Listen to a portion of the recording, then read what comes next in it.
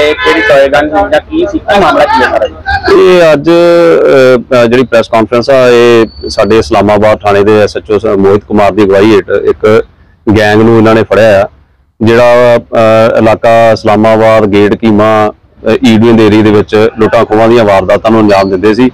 ਤੇ ਇਸ ਸਬੰਧ ਦੇ ਵਿੱਚ ਇੱਕ 129 ਨੰਬਰ ਮੁਕੱਦਮਾ ਸਾਡਾ ਇਸਲਾਮਾਬਾਦ 379 ਬੀ ਦੇ ਵਿੱਚ ਦਰਜ ਸੀ 1/4/2023 ਦਾ ਕੱਲ ਇਹਦੇ ਵਿੱਚ ਪੰਜ ਦੋਸ਼ੀਆਂ ਨੂੰ ਜਿਹੜਾ ਵਾ ਇਸਲਾਮਾਬਾਦ ਦੀ ਪੁਲਿਸ ਨੇ। ਸਬ ਇੰਸਪੈਕ- ਸਬ ਇੰਸਪੈਕਟਰ ਜਗਸੀਰ ਸਿੰਘ ਨੇ ਜਿਹੜੇ ਚੌਂਕੀ ਇੰਚਾਰਜ ਕੋਟ ਖਾਲਸਾ ਉਹਨਾਂ ਦੀ ਅਗਵਾਈ ਹੇਠ ਫੜਿਆ ਆ। ਔਰ ਇਹਨਾਂ ਕੋਲੋਂ ਜਿਹੜੀ ਖੋਈ ਹੋਈ ਐਕਟਿਵਾ ਉਹ ਬਰਾਮਦ ਕੀਤੀ ਗਈ ਆ। ਦੋ ਖਡਾਉਣਾ ਪਿਸਤੌਲ ਮਿਲੇ ਨੇ ਔਰ ਦੋ ਦਾਤਰ ਇਹਨਾਂ ਕੋਲ ਬਰਾਮਦ ਕੀਤੇ ਗਏ ਨੇ। ਟੋਏ ਟੋਏ ਗਨ ਦਿਖਾ ਕੇ ਸਾਰੀ ਲੁੱਟ ਕੋ ਕਿਸ ਤਰੀਕੇ ਨਾਲ ਕਰਦਾ? ਹਾਂਜੀ ਇਹ ਲੋਕਾਂ ਨੂੰ ਡਰਾ ਕੇ ਵੀ ਜਿੱਦਾਂ ਦਾਤਰ ਵਿਖਾ ਕੇ ਟੋਏ ਪਿਸਟਲ ਵਿਖਾ ਕੇ ਤੇ ਫਿਰ ਉਹ ਉਹਦੇ ਨਾਲ ਇਹ ਵਾਰਦਾਤਾਂ ਨੂੰ ਅੰਜਾਮ ਦਿੰਦੇ ਸੀ।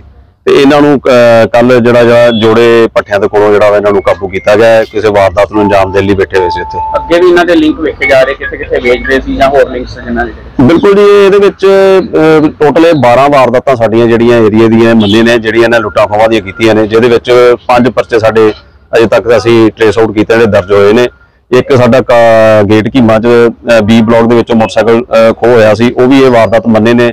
ਜਿਨ੍ਹਾਂ ਵਿੱਚ ਤਿੰਨ ਦੋਸ਼ੀ ਪਹਿਲਾਂ ਵੀ ਕੋਰਟ ਕਾ ਆਪਣੇ ਗੇਟ ਕੀਮਾ ਵਾਲੇ ਫੜ ਚੁੱਕੇ ਆ ਔਰ ਇਹ ਪੰਜ ਬੰਦੇ ਵੀ ਉਹਦੇ ਵਿੱਚ ਇਨਵੋਲਵ ਹੈਗੇ। ਪਹਿਲਾਂ ਵੀ ਕੋਈ ਅੱਗੇ ਮਾਮਲੇ ਦਰਜ ਨੇ ਐਨਡੀਪੀਐਕਸ ਜਾਂ ਚੋਰੀ? ਇਹਨਾਂ ਦੇ ਚੋਰੀ ਦੇ ਮਾਮਲੇ ਦਰਜ ਹੈ ਜੀ। ਅੱਗੇ ਬਾਕੀ ਹੋਰ ਇਹਨਾਂ ਦਾ ਰਿਕਾਰਡ ਜਿਹੜਾ ਉਹ ਖੰਗਾਰ ਰਹੇ ਜੀ ਆਪਾਂ।